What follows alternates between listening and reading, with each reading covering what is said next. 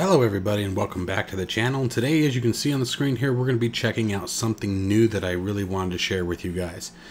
Um, a little while back, the developers of Frontier Pilot Simulator reached out to me and asked if I would do a review of their simulator.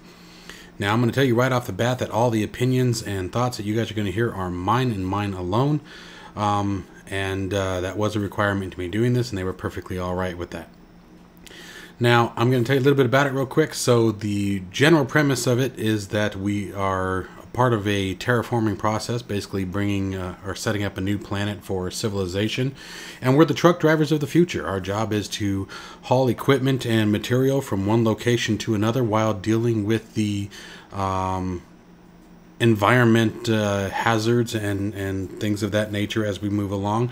Earning money, upgrading our, our aircraft, buying new aircraft, interacting with uh, different characters uh, in the environment, as well as completing one of two campaigns. You can either be a smuggler or um, part of the alien race.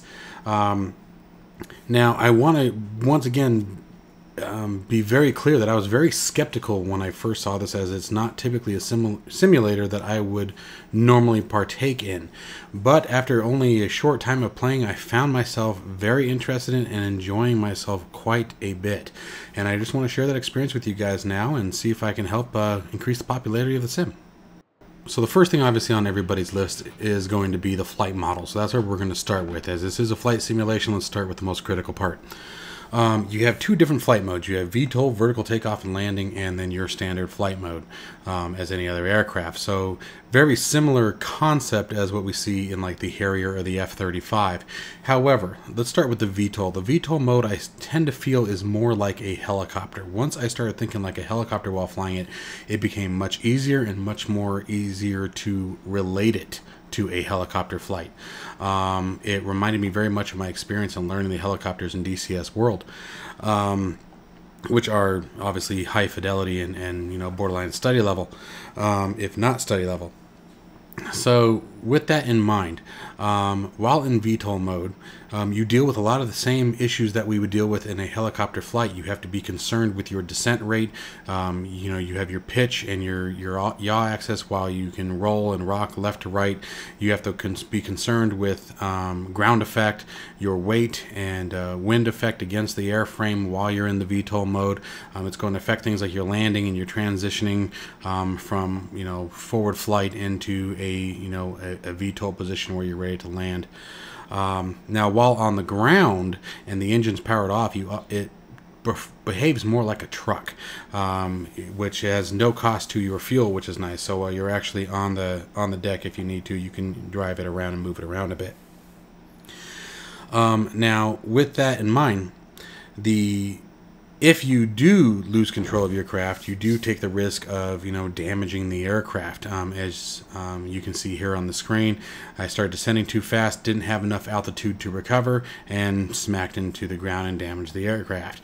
You can have different damage locations. So, for example, if you land too hard, you can damage the landing gear, or you can damage the fuselage, engines, wings, etc., and all of these that need to be repaired in one of the hangars, which we'll talk about in just a minute after a bit of progression, which uh, doesn't take long at all, the progression of the simulator is very nice, um, which adds, again, uh, uh it's nice to have this kind of a simulator with an ob objective based operation to it.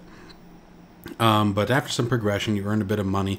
You do get a quest that tells you to go and get new wings, and essentially your first upgrade on the aircraft, or I think second upgrade on the aircraft, um, which allows you to transition from the VTOL to the flight mode. Now, the flight mode, you're obviously going to expend fuel at a bit of a uh, higher rate, but you're going to be traveling significantly faster and be able to travel longer distances. The flight mode is just like any other aircraft. You know, you have your pitch and your roll, and it treats you very similarly. Um, now, with the transition, the nice thing that they added to it is you can't just pop up and transition to flight mode. You have to make sure that your airspeed is high enough to actually safely make that transition, um, or you could find yourself in a, a uh, less than pleasant situation and plummeting to the ground, you know, with the engines at, at full thrust. Um, the HUD is very well laid out. You have your airspeed, your descent rate, your climb, your altitude, your um, you know uh, your bank angles and things like that, your desired locations, you know, just like you would in a uh, modern day GPS, you can set your nav mode and that nav position displays on your HUD um, as your target location, so it makes it easy to navigate around the environment. Um, so it's it's really something that's that's a, a a neat incorporation of that flight simulator aspect into a very sci-fi environment.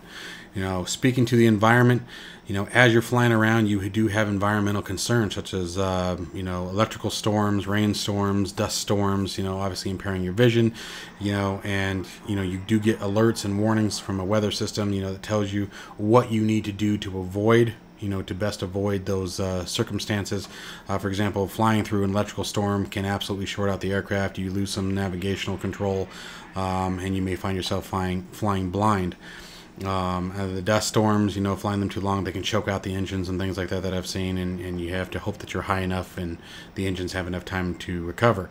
Um, so, very similar um, aspects to what we would see um, in real world operations. So, it's kind of cool to have that, again, that balance between sci fi and, and real world uh, flight. The other thing I'll say about the environment that's really neat is the you have the campaign so you have two different campaign modes. Again you have either the smugglers or the um, alien races. Um, but aside from that you have you know your standard cargo quests where you go from one hop to another trading materials from one location. And the way that they've done that is it really caused you to sort of bounce around the map. You know point a may need what what point Delta has. Delta may need what Charlie has. Charlie may need what Alpha has, you know, and etc. So it requires you to sort of really think about your your um, flight plan in a manner that um, a you have to take your fuel consumption into consideration. At each location landing pad, you can recharge your aircraft or refuel it if you will. It runs off of battery power. Um, and then so you you have to plan your route out in a way that you don't run out of fuel, but that you're making the most profit that you can in a single in a single spin, right? Now, with that income that you get comes, you know, the hangars. and the hangars are really cool. I really like the way the hangars were drawn out. So with the hangars come a few different things. First off is repairs. Okay, again, you come into situations where you damage the aircraft um, where it's still flyable. Um, then you need to come to one of these hangars and actually repair the aircraft. And the way I like the way they did with the animation is depending on what part of the aircraft is damaged, the robots, the robotic arms that you see here actually repair that specific part of the aircraft, whether it be the landing gear, the fuselage, etc. So again, it adds a little bit more to it. Then we get our upgrades. You can upgrade things, really anything that's on the different vessel. And um, you have three different types of ships, which we'll get into in a second. But each location, each area of the map has its own hangar, and at those hangars are different uh, parts or upgrades that you can get, or different customizations that are available based on where you're located. Um, and so with the upgrades, you know, you can do anything from, you know, like I said, your engines to wings to landing gears, make it more rust, more battery power, larger batteries, more powerful engines, et cetera, et cetera. Um, so again, you have that economic structure of having to balance out what you're doing with your money in a way that's going to make it most profitable for you to make more money. You know, if you just dump it all into one thing too soon, then you may find yourself with an inability to make enough money because it's less effective, right? Um, you know, for example, if you go straight to the larger engines, well, the larger engines require uh, more battery power, so essentially you're you know creating a larger fuel burn. You know, so your distance is reduced, right? And so it's things like that that make it really interesting to plan out. Alright, so now let's go ahead and talk about camera views for a second. You have third person and first person.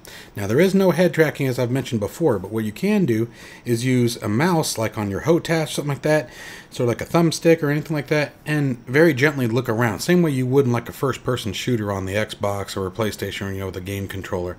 And the head movement is actually very smooth. It's very it's much easier to use than I was anticipating. I think the biggest thing is just practice makes perfect when you're not used to it. Um, but other than that, it's definitely suitable for the simulator itself. And as you can see here, I'm navigating around just fine. Um, now you do have the ability also to see multiple out uh, exterior views of the aircraft from a couple different perspectives. You can change the camera view in your third person. The camera will automatically adjust in certain situations, like if you're falling too fast, it will automatically lift you up to the top of it so you can see, hey, you're about to plummet to the floor. Um, so it's got a lot of uh, creature friendly things, if you will. Um, so anyway, with that being said, uh, there's a lot left to be desired from me for cameras, but it's still very nice. Now let's go ahead and talk about some of the aspects of the game outside of the game itself, as in the community, what uh, resources you have, and things that are you know in the works and coming forward. And just before, guys, I want to make sure that I stress to you guys that there's still so much more to this sim that I haven't covered. Um, you you can damage your aircraft permanently to where you have to eject. There there's tons more parts that I haven't shown you. There's uh, different ferries and different uh, quest lines. There's random quest missions that you have to do. Uh, sometimes dropping packages out in the middle of the ocean for to rescue people. I mean, just it, it goes on. So it just there's so much that if I were to go into every little thing, it would just this would be an hour long video. Um, so anyway, let's go ahead and take a look at what things are with the community. Alright, so first coming into Steam here, you can guys can see what the main page already looks like. So first off, they're doing regular updates and actually a whole lot faster it seems than they're planning. So you can click on the updates, gives you information of their latest updates, what screenshots, things like that, what you can expect to see. So they've added some new creatures, but even even then, to, to speak on their their attention to the community, as one of you suggested, they named them fireflies. You know, um, talks about some different decorations for Christmas that were available. That was kind of cool. But one of the ones that actually really caught my attention was if you come down here to the December 9th. Okay, tutorial, new islands, bug fixes, and roadmap. And there's a couple of these that really caught my attention. In the first line, a new update arrived. Thank you all for your support, ideas, reviews, and tests. Most of you were unhappy with the tutorial process, so we updated the existing one based on your feedback. For that, we added two small islands where you'll uh, be led to practice your landing and get used to the in-game flight mechanics. Okay, that's huge. Also, we fixed a lot of bugs and passen- you know with passengers and most you know the randomly flipping. The new year is coming. We are making a plan for the next year on how the game will be developed and making a roadmap. We collected the most common requests from the wish list. Take some time to prior. Please take some time to prioritize your requests and help us deliver what's important to you. You can follow the link and get there guys, that's awesome. That really is. I mean, the fact that they're paying that close attention. This is why it's almost actually there's no almost about it. This is why it's worth it to engage in some of these simulators and upcoming uh, programs when they're smaller like this because they're listening to you. You know, they're not all about the big bang. They don't have their, you know, locked down tight, you know, where you can't make suggestions and, and help shape the simulator. And, and that's that's huge. But the other thing you have is you can come over here to guides, right? and these are all different guides for the simulator. And one of the things they have them, it's got its own wiki page. You know, we can click on that, and let's see here. We can just come here. Sorry, it launched on a different monitor. Give me a second. There we go. And I mean, it breaks everything down for you step by step by step. It's constantly being updated. It's on the wiki, so it can be you know um, upgraded by the public. There's a bunch of different links to other sources. Um, this is a really awesome community. I've been really impressed with it. The Discord is awesome. Um, they do New Year events, they do yearly events, they do um, some pretty consistent community events. Um, they try to keep you guys engaged. They try to, or I should say, us engaged. Um, it's really been a, a, quite an impressive experience so far, and I'm really, um, really happy that I was invited to to test this out. And uh, I think anyone who's been watching my channel long enough knows I, I don't you know, I have no problem calling things out when they're when they're junk. I, I don't. Um, it just doesn't do anybody good, and especially with the pandemic and everything going on right now, I'm certainly not going to um, push somebody into buying something that they don't need or want. I mean, and the nice thing is, is that the um, price point for it is actually really fair. So give me a second here, and I'll find it for you. There it is. Oh, helps when I spell correctly. Twenty-four ninety-nine. Okay, and you know, I think this is absolutely a simulator that as it comes into fruition and really gets to its peak, I think it's going to be worth far more than 20, $24.99. Far more. Um, they're really coming a long way. And like I said, you know, if, if they get into things like head tracking with TrackIR or, or, or VR, it, it's going to be really impressive. Um, and you know i've only had a limited experience with it so i'm, I'm still absolutely learning. I'm still figuring out how to tweak it to, to make it even better. Um, and i'm really enjoying the experience. So i hope you guys enjoyed this. I hope you guys consider um, supporting this project. You know take a gander at it. Um, and uh, let me know what you guys think down in the comments fields below. Um, and uh, i will absolutely love to provide feedback back to the community. So, anyway, guys, I hope you guys all have a wonderful evening, and I will catch you guys in the next one. Take care.